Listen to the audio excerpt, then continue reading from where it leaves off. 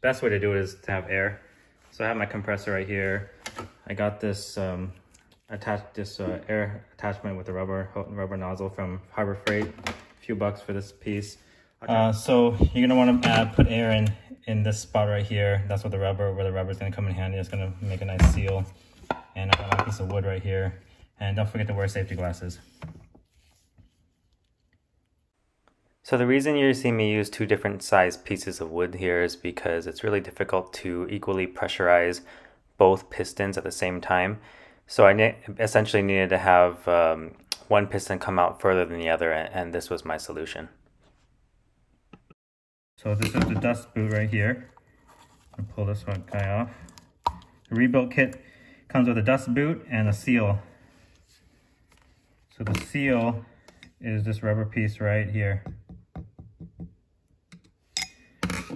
I'm gonna take those out right now. So I'm gonna try to get these seals out of here. Let me try to go in here. Hopefully you guys can see this. So we're gonna get in there. I don't care if I damage this. So you're just gonna pull this out like that. There's one.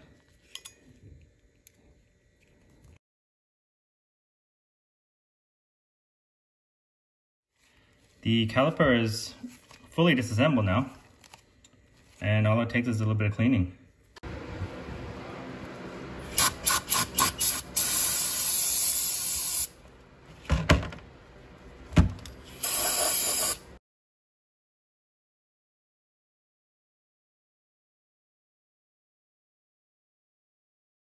So I'm going to go ahead and open up this these uh, Centric Centric um, rebuild kit.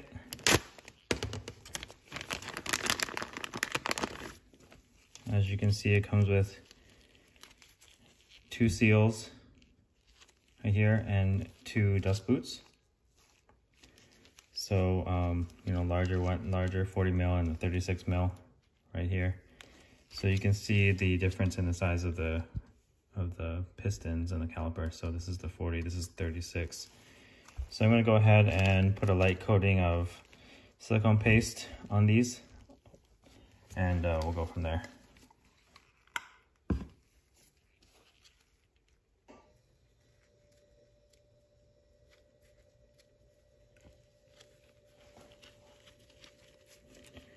Just gonna spread it.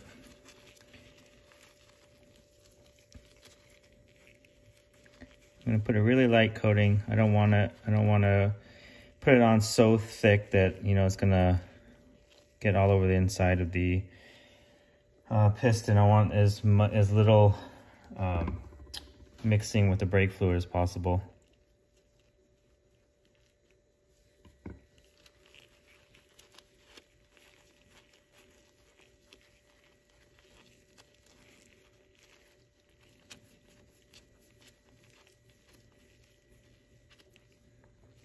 All right, so gonna grab the 40 mil uh, seal and then it's the second groove in here. So going to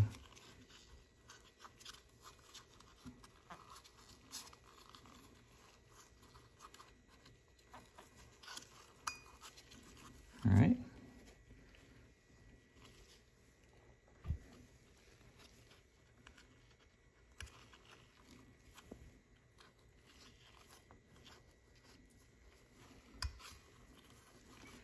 Should fit in there nicely. Make sure it's, give it a little press, make sure it's seated properly.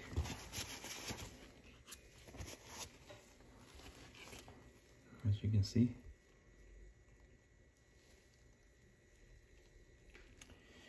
So this next step, it, the manual says to use some silicone paste on the inside of these piston boots. So I'm gonna go ahead and do that right now.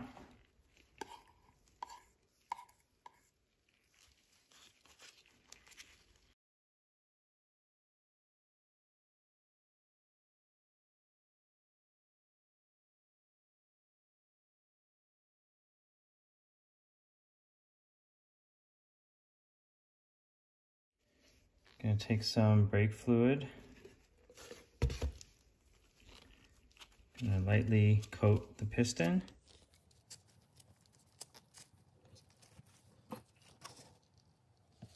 Coat the other one.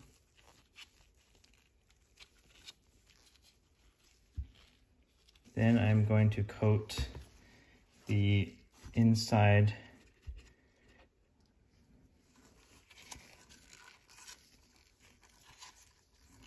of the caliper.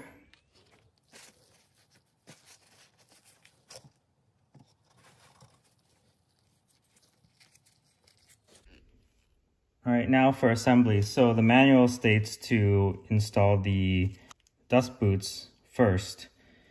And um, the way the way the dust boots work, this this edge right here attaches to the first groove in the piston, and this inside inside edge hugs the pistons themselves like this. So um, it's going to be hard to, it's easiest to install this without the piston, but it's going to be hard to get the piston through this without, without it grabbing it and binding it. So um, I'm going to first um, install this on the piston, like so. So what I do is I just push it on and it goes inverted right here when you do it from the bottom.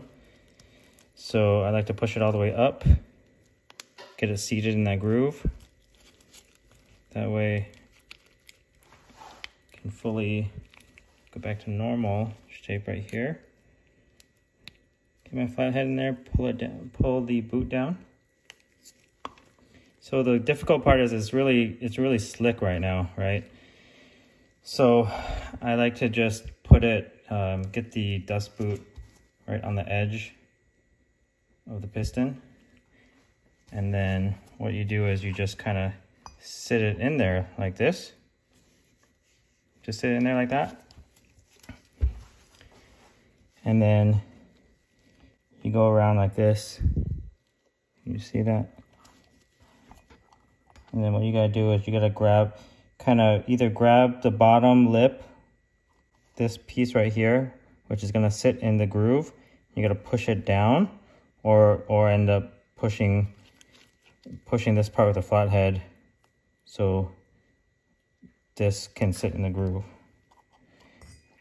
Um, and it has to, I have to keep the hold of the piston and hold it in this position. Otherwise, if the piston goes in like this, it's way harder to, there's not enough room to slip this this lip into the groove with the piston in the way. So you have to slide it like this, get the piston out of the way in order for you to do this with the with the dust boot and get it in the groove. So you always have to tilt the piston backwards this way, whichever way I'm working on, tilt it away from what I'm working on. So I can get my screwdriver in there.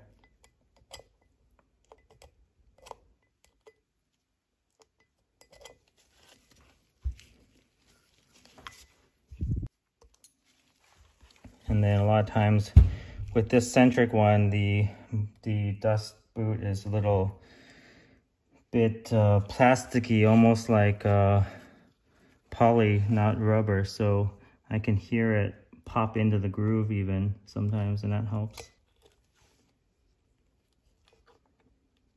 So you want to hold onto the piston too while you're doing this so the piston doesn't go all the way out. Then you got to start all over again because the hardest part is the reason why you can't put the boot in the uh, uh, dust boot in first is because it's just really hard to get the boot um, diameter around the piston. So you don't want the piston to, to fall out. So you're kind of just holding it in this state of not too far in, not too far out. So I'm going to test it. See like that. I know it's seated because it's not coming out.